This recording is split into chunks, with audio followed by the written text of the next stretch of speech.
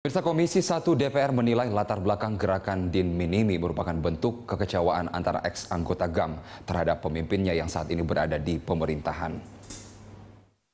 Komisi 1 DPR RI menilai latar belakang gerakan Din Minimi adalah kekecewaan ex anggota GAM terhadap pemimpinnya yang kini ada di pemerintahan.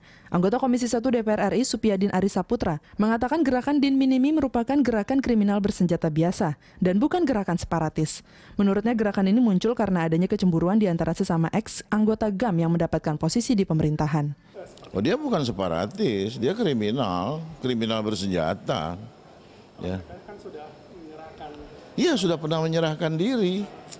Nah sekarang ini kan masalah dia kecemburuan, iri kepada kepada kepala daerah yang dia merasa kesejahteraannya tidak terperhatikan, kan gitu ya. Nah, tetapi kalau ini diberikan amnesti, nanti muncul lagi din minimi yang lain.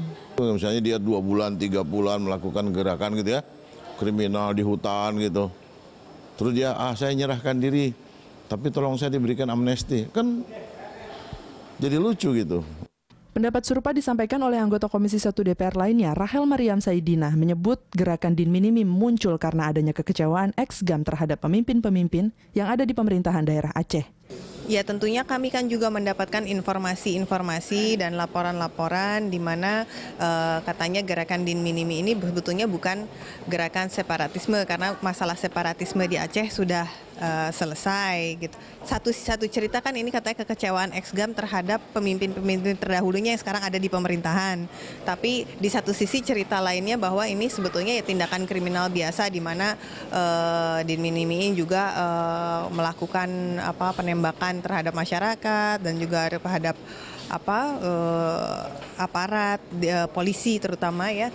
Jadi ya ini ini yang harus kita kaji lebih dalam. Oki Zulindra dan Dwi, TVR Parlemen melaporkan.